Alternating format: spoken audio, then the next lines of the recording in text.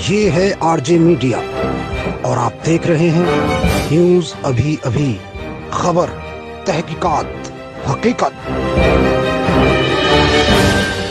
Dairy संचालकों का collectorate में विरोध प्रदर्शन। सहारनपुर सिटी को स्मार्ट सिटी चिन्हित करने के बाद लगातार कई महीनों से नगर निगम द्वारा डेयरी संचालकों को अपनी डेयरियों को शहर से बाहर ले जाने का नोटिस दिए जाने की प्रक्रिया के चलते पिछले दो बार डेयरी संचालकों द्वारा नगर निगम में विरोध प्रदर्शन करने के बाद आज उनका कलेक्ट्रेट में भी विरोध प्रदर्शन किया गया, जिसमें सैकड़ों की तादाद में डेयरी संचालक मौजूद रहे।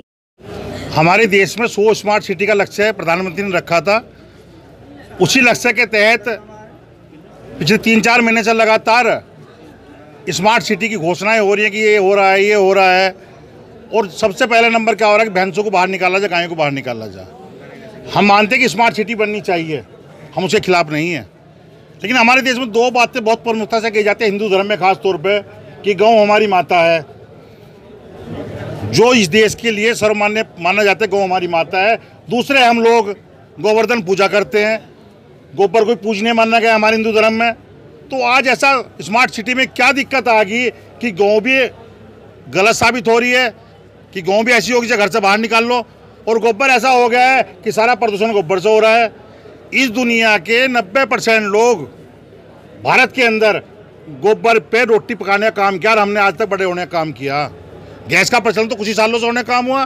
तो आज ऐसा स्मार्ट सिटी में क्या हो गया कि सभी भैंस वालों को, गाय वालों को घर से बाहर निकालने के फरमान आ गए कि अगर अपने घर में एक भैंस रखोगे, एक हज़ार रुपये जुर्माना, दस भैंस रखोगे, दस हज़ार रुपये पर पर डे का जुर्माना तो समझ में नहीं आ रहा कि रोज़ फरमान होता पंद्रह तारीख को बाहर निकाल देंगे, बीस तारीख को बाहर निकाल देंगे। हर आदमी घर में दुखी है, घर में रोजी रोटी के लाले पड़ रहे हैं, कारोबार करने को मन नहीं करता तो बताओ कहाँ जाएँ? इसलिए नगर जिलाधिकारी के पास आज आए थे कि शायद कोई बात पड़ने लेकिन वो नहीं है। हमारी किस्मत यहाँ भी खराब दगा दे रही है कि आज वो यहाँ नहीं है। लेकिन तब भी हम कह रहे हैं कि हम लड़ाई जारी रखेंगे और अगर कुछ नहीं होता, कल या परसों से रामलीला ग्राउंड पर आमन अनशन करने का काम करें।